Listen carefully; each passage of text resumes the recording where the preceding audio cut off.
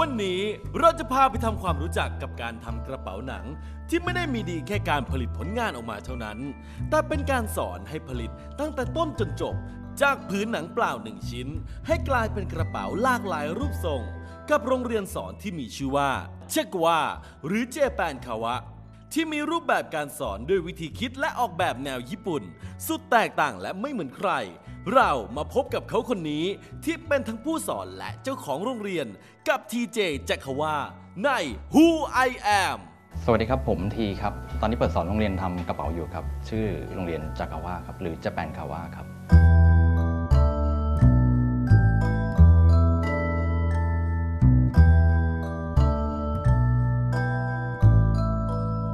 เจแปนคาวาก็มาจากว่าเจแปนที่แปลว่าญี่ปุ่นคาวาภาษาญี่ปุ่นคือหนังนะครับ เครื่องหนัง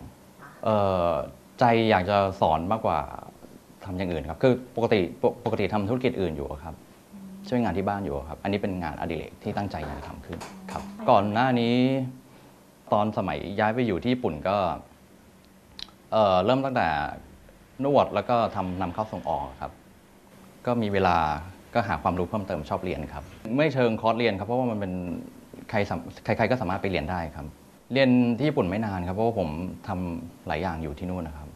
อ๋อชอบมาตั้งแต่สมัยเด็กเลยครับเพราะว่าเป็นคนซุ่มซ่าม สมัยเด็กจะจะชอบใส่แต่รองเท้าหนังนะฮะใส่รองเท้าแตะแล้วเดี๋ยวแบบชอบไปเดินเตะนู่นเตะนี่จุดยืนผมคืออยากจะให้ทุกคนมีอาชีพเป็นของตัวเอง แล้วสามารถสร้างผลงานได้ด้วยมือของตัวเองอะฮะก็เลยคิดว่าอยากจะทำจริง ๆ อยากจะทำเป็นเอ่อศูนย์ฝึกวิชาชีพอะไรสักอย่างด้วยซ้ำไปอะครับมันคือความฝันที่อยากให้ทุกคนมีอาชีพอะครับ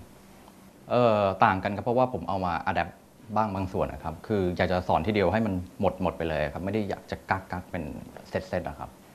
หลายปีมากแล้วครับ แล้วก็มีหาศึกษาเพิ่มเติมบ้างด้วยครับ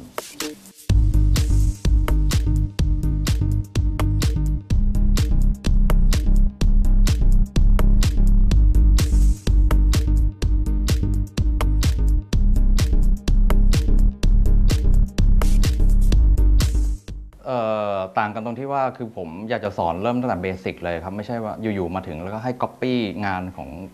ที่อยากจะทำครับ สอนตั้งแต่ทำ pattern จนถึงเย็บด้วยมือด้วยจักรอย่างเงี้ยอยากจะให้เป็นตั้งแต่เริ่มต้นเลยครับ ไม่ใช่ว่าอยู่ๆมาอยากจะทำอยากจะเย็บเงี้ยครับมันจะไม่เข้าใจร้อยเปอร์เซ็นต์นะครับ pattern เลยครับ หัวใจหลักคือการทำ pattern นะฮะที่เหลือก็คือการฝึกเย็บมือเย็บจักรอย่างเงี้ยครับ pattern มันจะอยู่ในกรอบของรูปสี่เหลี่ยม ผืนผ้าหรือสี่เหลี่ยมจัตุรัสแล้วที่เหลือก็ไปวาดอยู่ในเส้นนั้นนะครับ จริง ๆ ผมอยากจะเน้นให้นักเรียนเรียนไปเพื่อไปสร้างเป็นแบรนด์เป็นธุรกิจมากกว่าเป็นงานอดิเรกครับเพราะฉะนั้นก็จะเป็นเน้น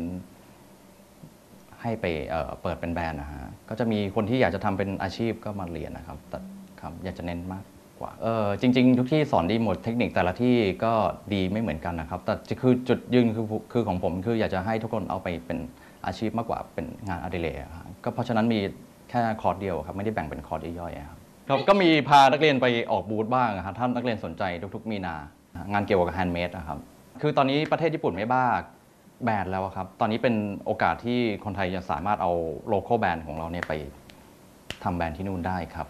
ก็มีตัวอย่าง เยอะครับ คนญี่ปุ่นชอบเอ่อเอ่อเรียบๆอะครับไม่ชอบอะไรที่มันฉูดฉาดสีหนังอะไรก็ได้แต่ว่าขอให้มันเป็นสี standard เรียบๆอะครับใช้ได้ทุกงานนะครับ simple คือเมื่อก่อนคือจะมีเอาไปฝากไปวางไว้อะครับไปฝากไว้ไปออกบูธอะไรอย่างเงี้ยครับตอนนี้อยากจะพาไปต่างประเทศที่อื่นๆ อีกด้วยฮะก็กำลังจัดทัวร์อยู่ครับ